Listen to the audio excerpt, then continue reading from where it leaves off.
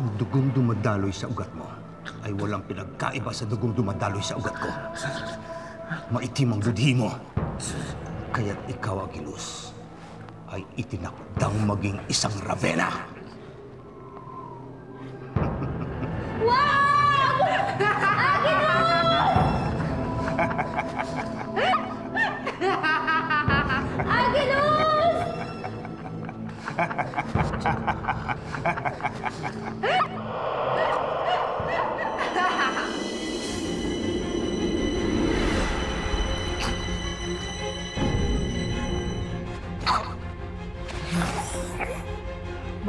Mahal na Raven.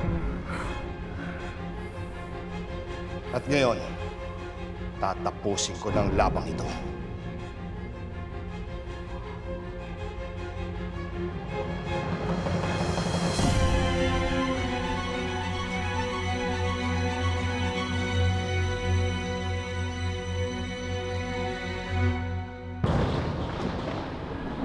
Muli na naman kayo naggapi sa kamay ng mga Ravenna. Ngunit ito na ang pinakamapait ninyong pagkatalo. Nais kong saksihan ninyo ang ipinagmamalaki niyong sugo.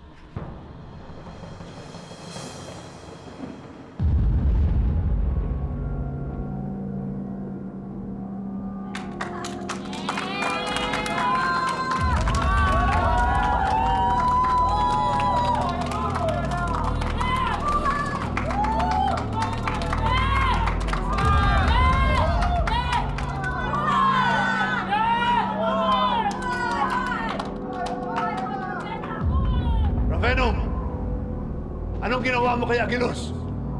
Hinayaan ko lang lumabas ang likas na nasa kalooban niya. Alam mo ba kung ano nangyari habang ginagawa ko yon, Dakila? Maligayang maligaya si Agilus. Paulit-ulit niyang sinasabing, Sige, Ravenum, gawin mo akong masama. Masarap maging masama. Huwag kayong maniwala sa kanya!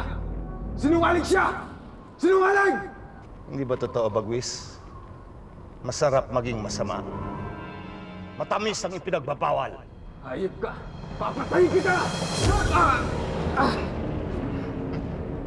Hindi ba kayo napapagod sa walang saysay ninyong pakikipaglaban? Kailangan nyo nang magpahinga. At ngayong Ravenna na si Agilus, talo na ang lahi niyo. Hindi ba, Agilus? Kung ano man naisin nyo, mahal na Raveno. Hala! Kulungan mga yan!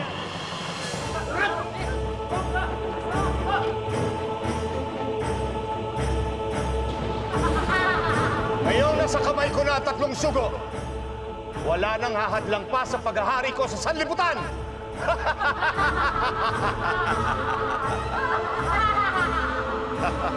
May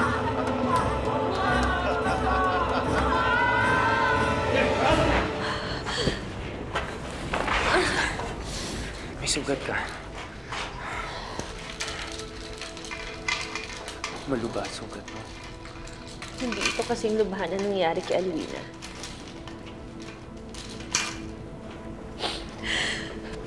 Bakit ganitong kapalaran natin, Bagwis? Nasa atin na yung tagumpay, ngunit ninakaw pa to. At ngayon, kailangan ko tiisin makita si Alwina bilang isang Ravenna. Tahan na. Tahan na, pero...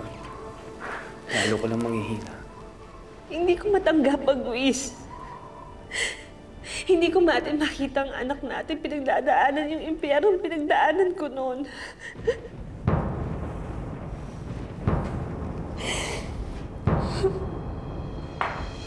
Oh. Bakit ka umiiyak, Veronica? Nalulungkot ka? Huwag ka magalala. Pasasayahin kita. Dadagdagan ko ang makakasama dyan sa loob. Mga kawal!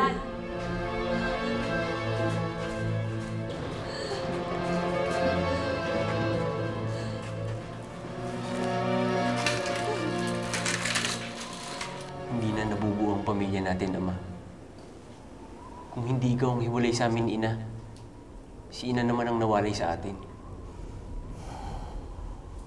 Tatagan mo ang loob mo, anak.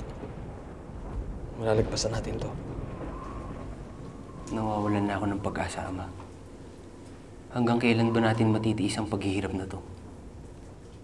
Hoy, tama ng ingay sa loob ng selda. Ina, parang awa niyo na. Itigil niyo na ang kahibangan ninyo. Gumising na kayo mula sa bangungot ninyo, Ina. Kami ni Emma ang ikinulong ninyo. Kami ang dahilan kung bakit isinuko niyo ang pagiging diwata. Tapos, ito ang gagawin ninyo. Wala akong pakialam sa inyong mag-ama. Mamatay man kayo dyan. Hindi ko kayo iiyakan.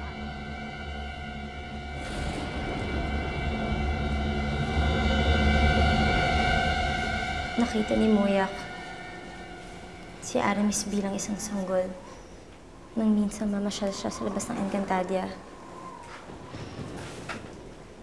Nahanap daw niya ito sa paanan ng isang puno. Mukhang iniwan daw siya ng nanay niya doon. Ibig ninyong sabihin, iniwan si Aramis bilang sanggol sa gitna ng gubat? Oo, bakit? Wala lang.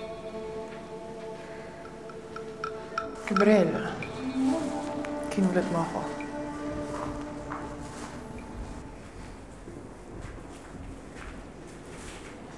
Gusto ko sanang pag-usapan yung nangyari nung kasal natin. Gabriel, gusto ko humingi ng paumanhin. Naguluhan lang ako. Naramdaman ko rin kasi naman nangyayari. Tapos pinaalis pa ni Raven ng mga babae. Kaya lalo ko naguluhan. Kahit gaano naman siguro kagulo ang isipan ko,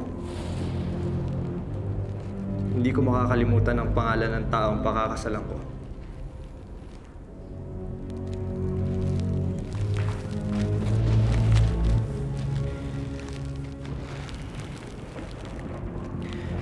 Nakikita ko ang katotohanan sa puso't isipan mo, Alwina. Ang inihiling ko lang ay konting paggalang at wag mo na akong pahirapan sa pagsisinungaling mo.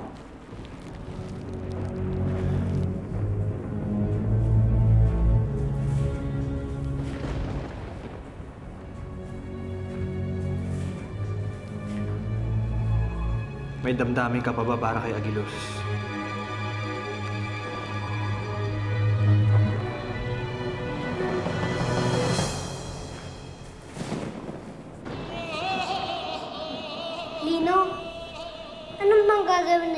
Nila sa atin? Malamang pupugutan tayo. Kung di tayo pupugutan, gigilatan ng leeg natin. Kung di gigilatan, bibitayan tayo. Tama na, tama na! Bakit ko pa kasi tinanong-tanong? Bakit pa kasi ako nandito eh? Bakit pa kami nasama dito ng lola ko? Sana bumalik na, na kami sa patag. Hindi na sana kami nadamay dito sa gulo na to. Narito ka, Lino. Dahil minsan, hindi pinipili ng isang nilalang ang kanyang tadhana. Ang tadhana niya ang pumipili sa kanya. Anong ibig sabihin, Daklila? Katulad natin mga mulawin, binayayaan tayo ni Bathala ng mga pakpak. Nakakalipad tayo. At kasabay ng paglipad na yun, mas malawak ang nakikita natin. Mas malayo ang nararating natin. At dahil likas sa atin ang pinapangarap lamang ng mga tao, minsan nakakalimutan nating pahalagaan ng isang simpleng katotohanan na mas nasisilayan natin ang kagandahan ng mundo. Kaya sa tuwing nasasaksihan natin ang kasakiman, ang pagsasawalang bahala sa mga biyayang ipinagkaloob sa atin ni Bathala, ang walang awang pagsira sa kanyang mga likha, likas na naghihimagsik ang ating kalooban. May kalakip na responsibilidad ang bawat biyaya pagaspas. At dahil mas matayog ang kinaluluklukan natin sa mundo, mas mabigat din ang responsibilidad natin dito. Pero natatakot po ako. Pagaspas, ano ba ang tibay ng loob? Ang tibay ng loob ay ang pagsulong sa kabila ng takot. Kung dito na magtatapos ang kasaysayan ng mga Mulawi, hindi tayo magpapauna sa takot. Mawawala tayo sa mundong nakataas sa mga noo. At haharap tayo kay Bathala nang mingiti sa ating mga labi. Akala ko kapag naging Ravenna na si Alvina, ay mamahalin niya na ako. Pero hindi pa nangyayari yun. Ang lugar na ito,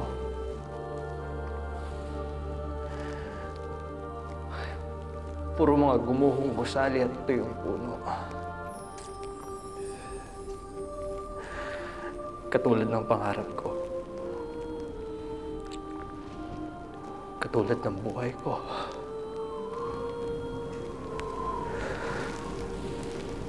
Tabel.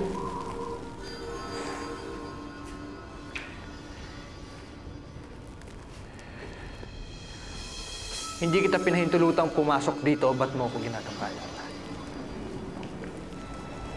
Kailan ba nakikita? Sa isa't isa. Kailan?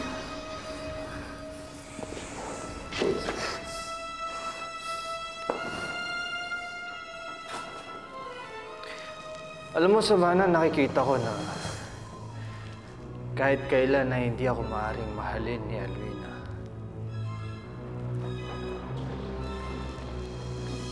Kaya sana maisip mo rin na kahit kailan hindi kita matututulong mahalin. At nasusuklam ako na magkapareho ang balahibo natin.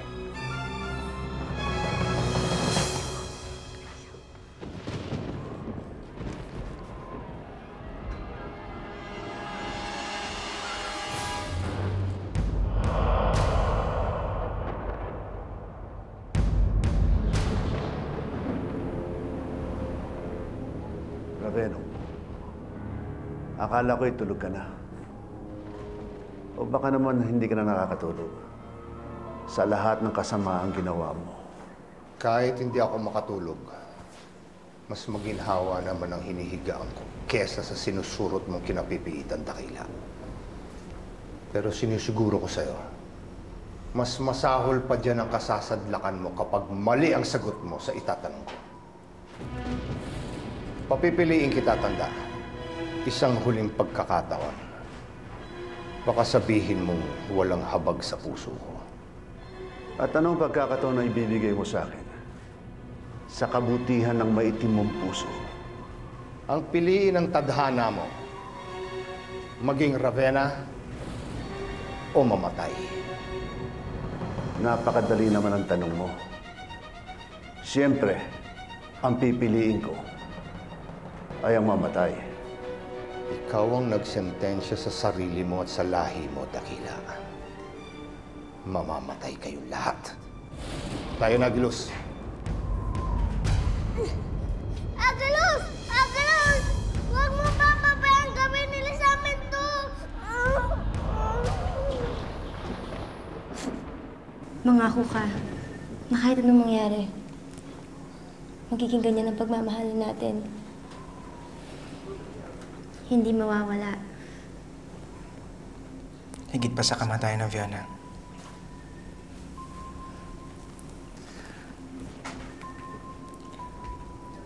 Kahit sa kabilang buhay, oh, Fiona, hahanapin kita at sabay tayo mag-aarap kay Albatala.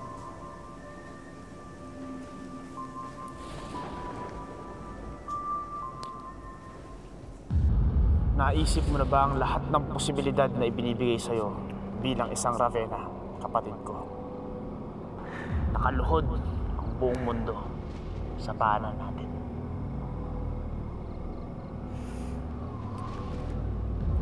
Sa katunayan, Nagilus, sa bawat dumaraan na araw, nararamdaman kong lumiliit ng lumiliit ang mundo ko. Kaibangan. Ngayon ko lang naramdaman ang lahat ng kapangyarihan na nananalaytay sa dugo ko. Parang tumutuloy na kuryente sa buong katawan ko.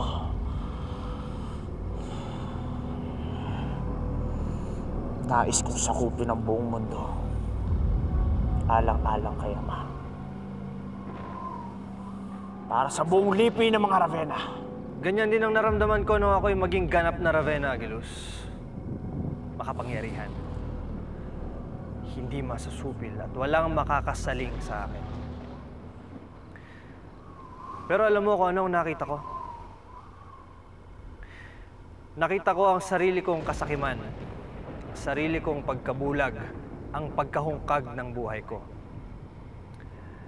At kung nakalimutan mo na ipapalala ko ulit sa'yo, na walang katuturan ang lahat ng kapangyarihan sa mundo kung walang pagmamahal sa iyong puso. At sa lahat ng kayang gawin ni Ama, yun ang hindi niya magagawa. Hindi siya makakahugot ng pagmamahal sa pusong hindi natutong magmahal.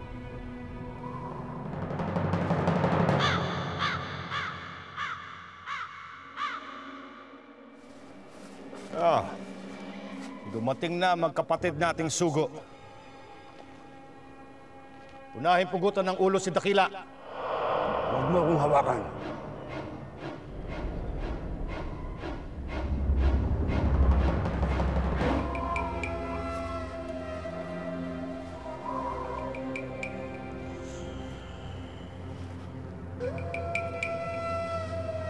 Dahil ikaw ang pinakabagong kasapi sa lipi ng mga Ravenna.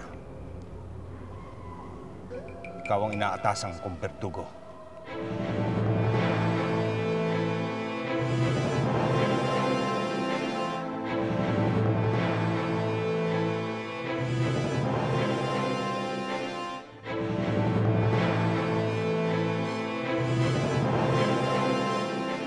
Ano pang hinihintay mo, Agilos?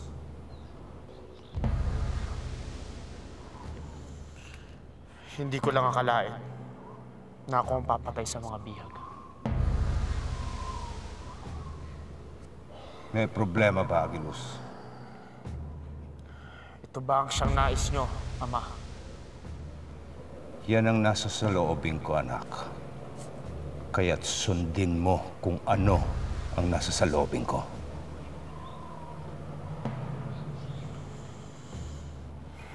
Kung gayon,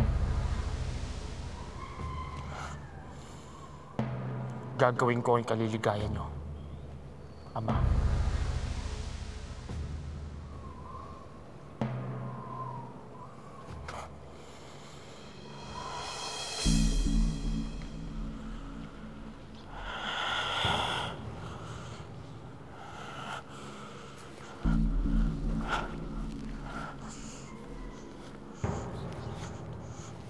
Kung hindi ninyo mamasamayan, Ama, nais ko sanang makatabi ang aking kapatid habang nagaganap ang pagpugot.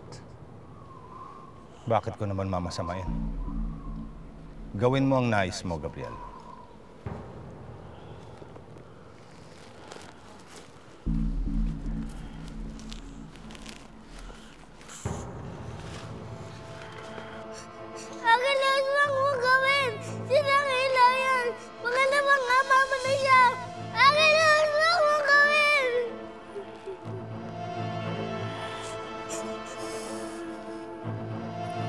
Pugutan mo na!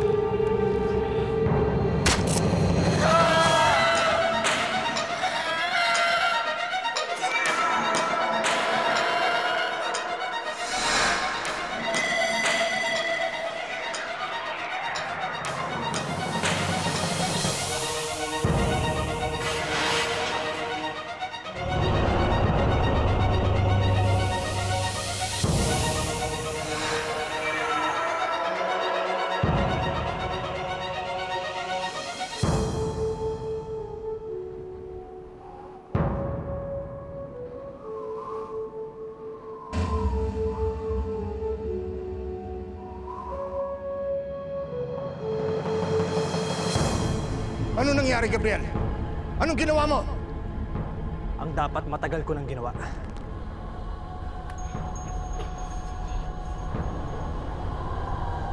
Gabriel, paano mo nagawa sa akin to? Mali, Ama. Ang tanong, paano niyo nagawa ang lahat ng ito sa amin? Lapas tangang anak! Mga kawal! Hulihin siya!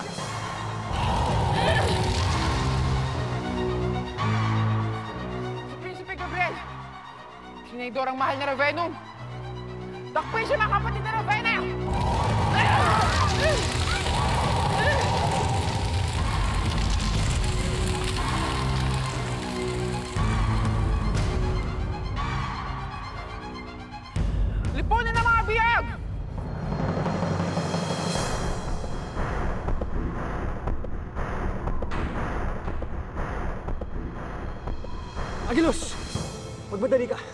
Kailangan mo nang lumisan. Gamitin mo yung palakol na hawak mo. Saan ko gagamitin to? Alam mo kung para saan yan. At alam mo na kung saan ka dapat magpunta.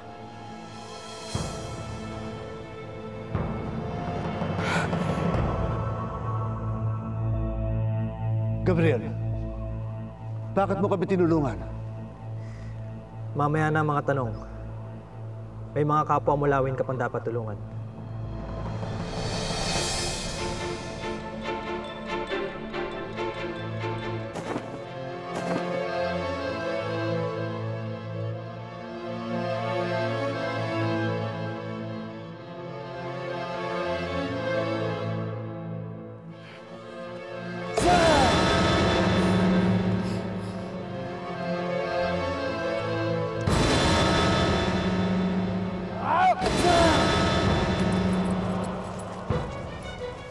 Na Rabenum, ano nangyayari sa inyo? Ang puno. Sinisipak ni Agilos ang puno. Huwag kayong tumunga nga dyan! Pigilan nyo!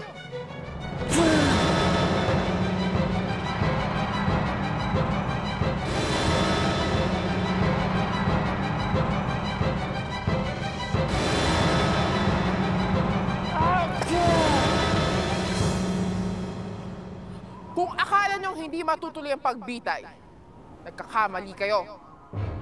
Sugat!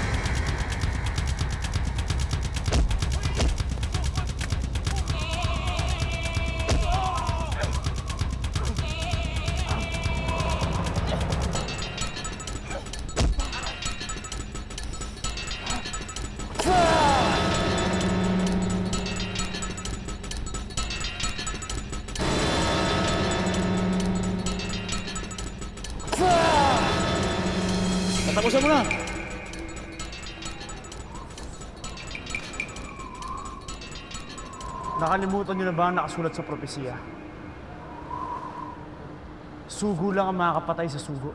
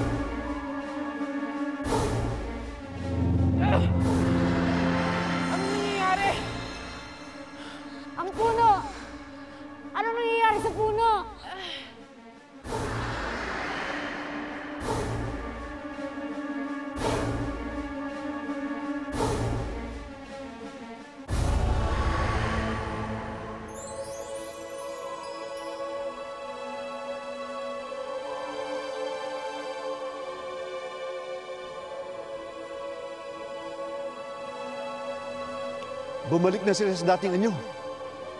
Anong nangyayari? Anong nangyayari?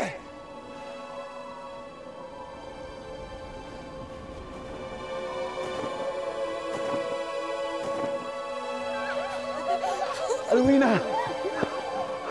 Ninang.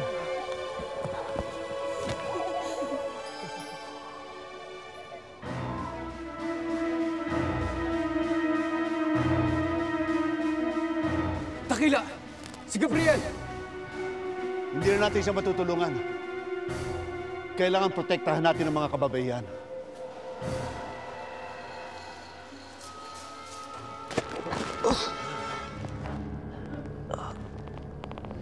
Mahina ka rin katulad ni Rasmus. Ngayon matitikman mo ang parusa sa mga nagtaksil sa akin.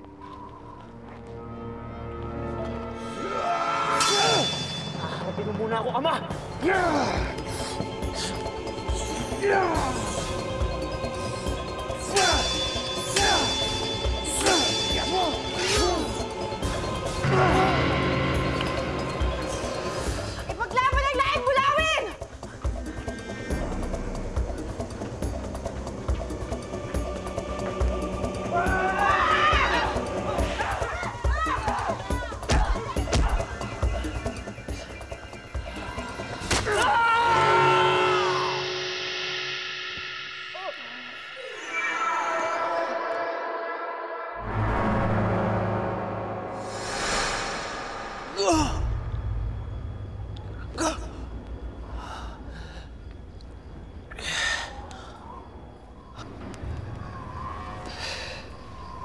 Lumabas din ang tunay mong anyo.